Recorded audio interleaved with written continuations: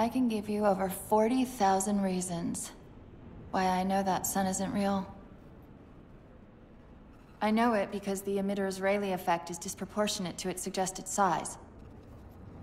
I know it because its stellar cycle is more symmetrical than that of an actual star. But for all that, I'll never actually know if it looks real. If it feels real.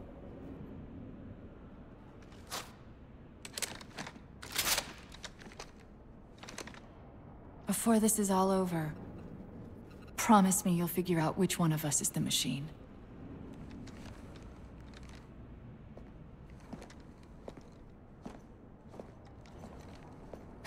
So what's your plan?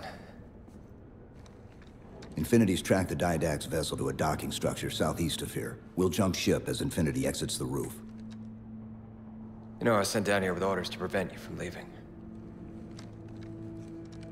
In case you'd already gone, I took the precaution of ordering a Pelican. Outfitted for full combat pursuit.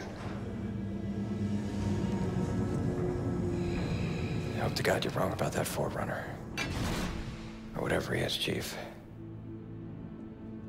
But in the event you're not.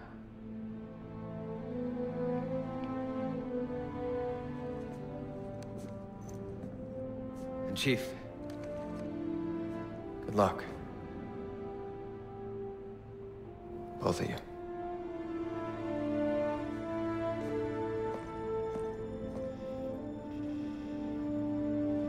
Come on, Chief. Take a girl for a ride.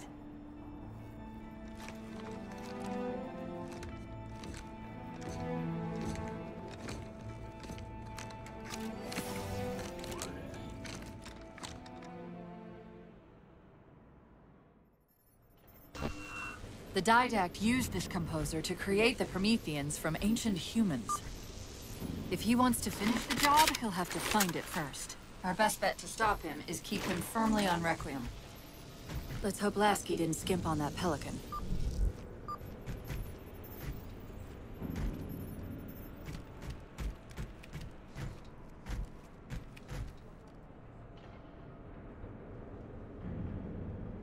Surely the game is not about to have you fighting your own people.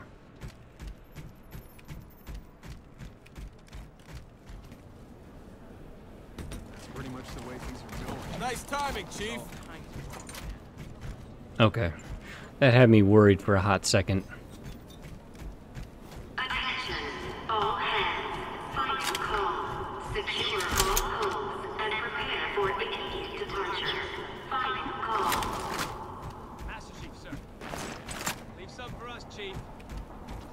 Back out there.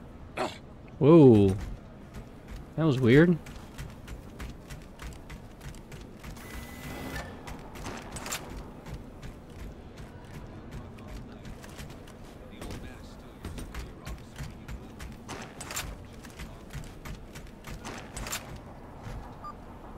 Initiating pre-flight diagnostics. Forward autocannon, check. Lateral rail turrets, check. Thrusters, check. Auxiliary boosters, check. All right.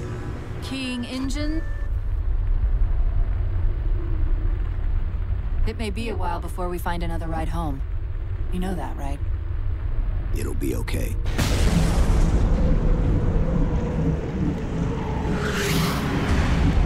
Contact. Didact dead ahead. How do we get inside those shields? Marking two of the larger facilities on your HUD. They're acting as traffic control for resources moving to and from the satellite.